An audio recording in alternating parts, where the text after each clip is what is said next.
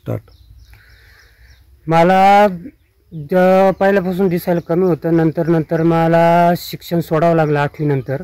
दिसत नसल्या कारणाने. त्याच्यानंतर रस्ता हा बुरकट दिसत होता. मग माझ्या पुढं असं चित्र उभं राहिलं की मी शेती कशी करू शकतो? आपण तर शिकलेलं नाही. आता उदरनिर्वाह कसा करायचा? तर मी नंतर शेतीकडे वळलो. शेतीची एक आवड किंवा छंद. व्यवसाय नसून एक छंद असून मी शेतीकडं बऱ्यापैकी शेतीचा पाहण्याचा जो दृष्टिकोन माझावाला होता तो अतिशय हे होता.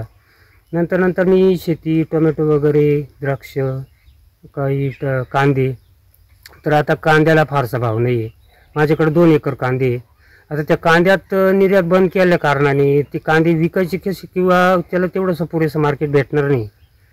आणि घराची परिस्थिती जर बघली तर तुम्ही एकदम हे म्हणजे शासन आज पो तर पंचनामे आता द्राक्षाचे नुकसान झाले.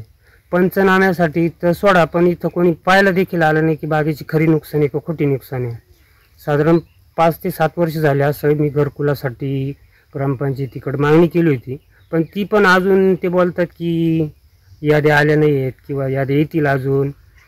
आणि एक मुलगा आहे माझा तो पाच वर्षाचा आहे.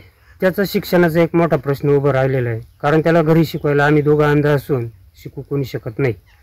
तर त्याची एखादी खास अशी हॉस्टेल वगैरे जशी भारतीय पवारची ती तिकडे शाळा आहे त्या शाळेसारखं मुलाला शिक्षण गरजेचं आहे. म्हणजे जेणेकरून तो तिकडं चांगलं व्यवस्थित शिकू शकतो. किंवा इथं आता क्लासला त्याला कोणी घेऊन जाऊ शकत नाही.